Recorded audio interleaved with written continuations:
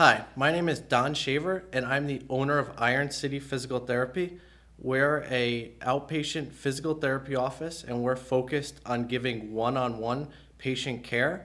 Now, because of that, we've chosen to go out of network, and a lot of people call up and are unsure what that means. So, an out of network physical therapist is somebody who will work with people that have insurance, but they are not pre contracted at a set rate. So what that means is usually per session, it's a little bit more expensive, uh, but you are getting much higher quality care and usually you'll only need one to two visits a week versus two to three.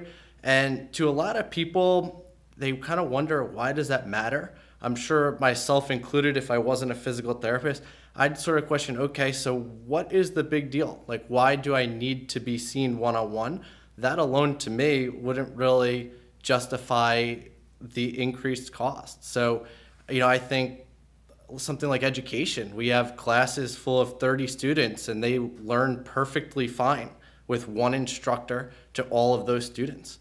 We also have uh, workout classes, we have CrossFit, and there's one coach and maybe 12 people in the class. And, and you know what? Those people reach the goals that they want to achieve. So, what makes physical therapy different and why would I need to be seen one on one? Because a lot of people are going to wonder what's the purpose of that? Why would I pay extra to do that? And I'm going to, rather than try to explain the way around this, just kind of present you with a quick exercise. So, first, what we're going to do is just a simple exercise three different tasks, one at a time. We're going to count to 10, we're going to recite the alphabet, and we're just going to name the colors in the rainbow. So, one, two, three, four, five, six, seven, eight, nine, ten. Now let's recite the alphabet. We don't have to go all the way through. A, B, C, D, E, F, G, etc. We're all going to pass that just fine.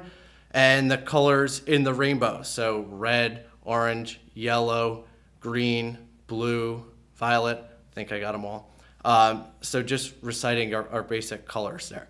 So a pretty simple exercise. Now what we're gonna do is combine those three activities. So now our brain is having to alternate between three different tasks, even though these are very simple tasks. So we're gonna go um, with our number, then a letter, then the color in the rainbow. One, A, red, 2B, orange, 3C, green, 4D, yellow. And you could see that that took a lot longer. It's not impossible. It's something that I could do. But as I alternate between those tasks, there's a much longer pause. And these again are very simple tasks. This is not your healthcare. Now let's let's kind of think about that as being three patients. So you might go to um, to an out to an in-network clinic, and your physical therapist might be manually working on your neck while treating somebody in the corner and coaching them on exercises that had a total knee replacement and then you've got someone in on the other end of the room that has back pain. So three different very complex diagnoses that require a lot of thought. This is not counting to 10 or doing the alphabet. Now you could imagine alternating between these tasks is going to be a lot harder. So one thing you could do is kind of delegate that to an to an aide maybe, and a lot of places do, and they'll kind of come back to you for the answer. Again, somebody not really trained uh, on how to treat these diagnoses. So let's take that versus one physical therapist that keep that that knows your diagnosis is only thinking about you.